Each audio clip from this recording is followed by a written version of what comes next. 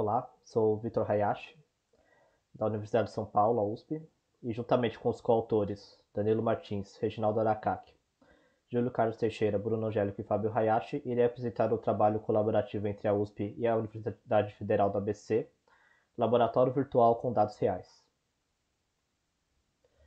Bom, como introdução, eu trago a questão que laboratórios são ferramentas essenciais para cursos de nível superior, porém desde sempre exigem alto investimento em equipamentos e mão de obra, profissionais especializados, como técnicos e professores.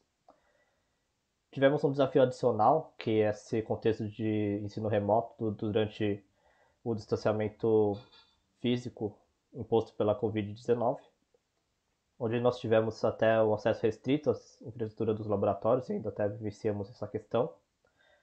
Outro ponto que vale a pena destacar é que o ensino de computação possui sim uma vertente prática, então, por exemplo, em cursos à distância é muito fácil encontrarmos exemplos de exercícios, por exemplo, com notebooks Python, que são totalmente integrados a esses cursos à distância. E sim, sabemos que laboratórios remotos podem ser uma solução, contudo, o que nós levantamos é que o potencial de escalar a solução de laboratório remoto incorre num grande desafio porque ele demanda investimentos em equipamentos e também a gestão de todos esses equipamentos e da infraestrutura se torna então grandes desafios para os laboratórios remotos. Pensando nisso, nós pensamos na alternativa de laboratório virtual e trazemos então alguma pesquisa da literatura, alguns trabalhos relacionados em relação a isso. Por exemplo, o laboratório virtual VPL é integrado ao ambiente Moodle, e permite avaliação automática de exercícios com verificações adicionais contra plágio. Outro trabalho de 2015 é, apresenta uma plataforma de baixo custo com laboratório de livre acesso. É, e aí o que é diferente é que tem código-fonte aberto e também tem integração com o Moodle, porém ele é específico para a disciplina de engenharia de controle, não seria para a parte de computação. Outro trabalho de 2017 ele apresenta um laboratório virtual interativo 3D que possui suporte a experimentos colaborativos, estudantes e professores, que é o diferencial desse trabalho. E os autores eles destacam que ele possui menor relação custo-benefício comparado com o laboratório remoto. Então, tendo como base esses trabalhos e a motivação apresentados, nós apresentamos aqui o nosso objetivo. Primeiro, é, dois pontos que norteiam o nosso desenvolvimento foi, primeiro, o conjunto de dados experimentos realizados, que seria um grande objetivo dessa ferramenta, que seria então disponibilizado para os estudantes, não somente para os que é, fizeram as aulas de laboratório, experimentos daquela sessão, mas também para outros estudos. Ou seja, por exemplo, pesquisadores sabem as condições dos experimentos e podem realizar estudos históricos, simulações e análises. E por outro lado, nós temos o catálogo de experimentos, onde as condições de realização prática para a obtenção desses dados também podem ser disponibilizadas para estudos e principalmente é, facilitando a replicação desses experimentos. Então, se de um lado nós temos os experimentos que podem ser replicáveis, nós temos o conjunto de dados é, desses experimentos, os dois então agindo para fazer uma plataforma de laboratório virtual, mas ainda com dados reais. Bom, mais especificamente o objetivo será criar uma ferramenta de código aberto é, que deve, primeiro ponto, facilitar o acesso remoto ao laboratório oferecendo a possibilidade de executar experimentos que alimentam uma base de dados e um ambiente de computação em nuvem. E segundo ponto, disponibilizar os dados coletados em ambiente virtual interativo para posterior análise pelos alunos.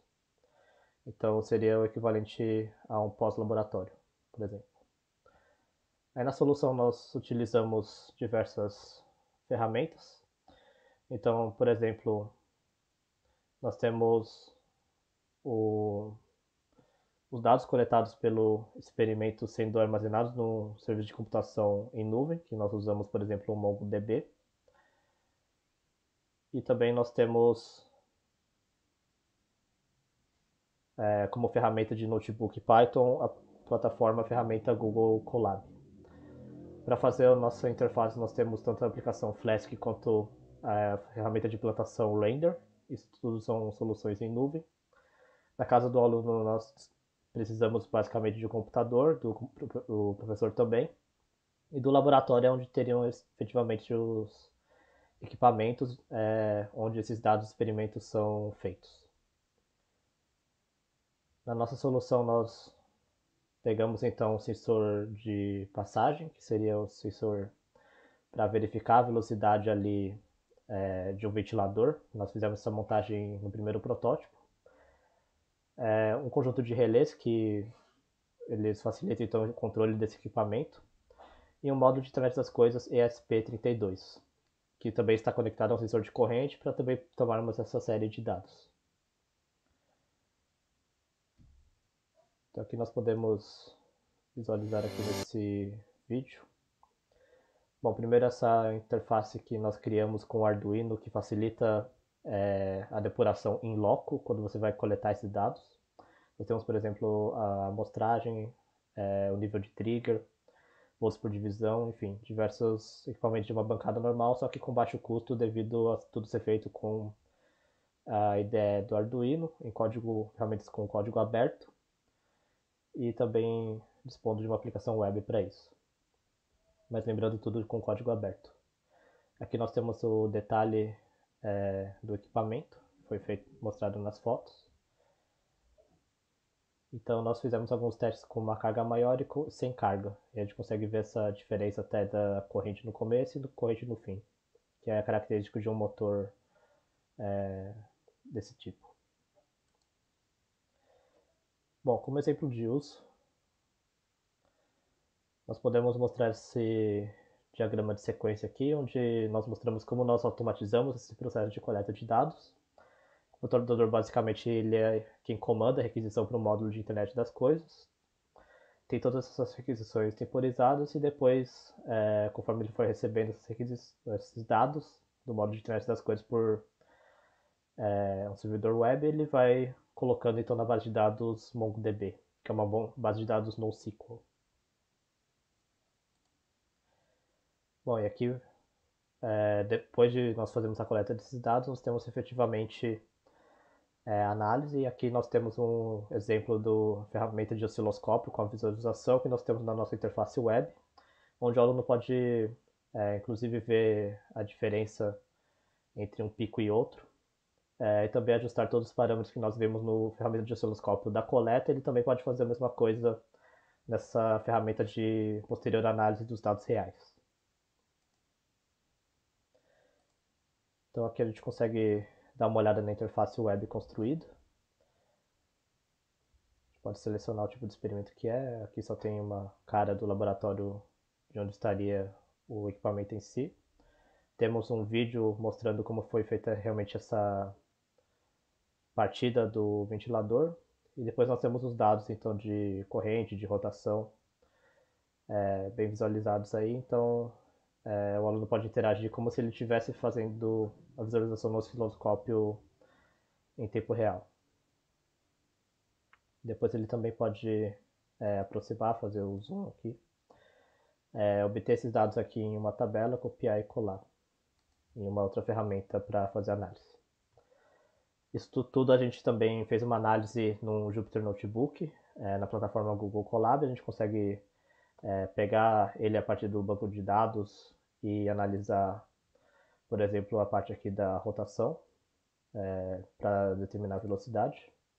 Então nós temos aqui das séries é, primeira velocidade angular, a fase da rede elétrica, que tem uma periodicidade aí constante, né? e a corrente que é o nosso dado de maior interesse, que ele é maior no começo e menor no final. Depois, tratando esses dados, a gente consegue ver, é, derivar, por exemplo, a velocidade dele, a gente consegue ver quando que ele começa a ter estabilidade na velocidade de rotação dele e consegue ver que é quando a corrente também é, entra na estabilidade.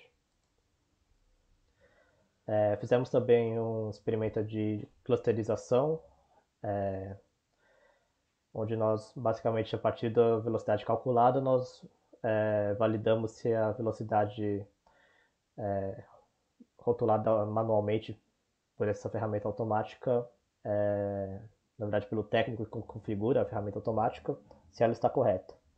E a partir disso a gente consegue ver que tem um, dois pontos aqui que estão fora do esperado. Bom, fizemos uma avaliação preliminar do portal. O questionário online foi aplicado com a ferramenta Google Forms. O total de participantes foi de 10 e o período de coleta foi de 5 dias. A instituição de ensino, a maioria são da USP e da UFBC, a maioria são estudantes. E numa avaliação subjetiva, é, grande parte deles atribuiu nota 4 ou 5 é, numa escala de 1 a 5 para o portal. E alguns comentários que onde realmente foi mais rico essa, esses resultados é a questão então de melhorar a responsividade da ferramenta, por exemplo, em celular e em computador, melhoria do ferramenta de ajuda que pode até é, ajudar a explicar como usar o portal.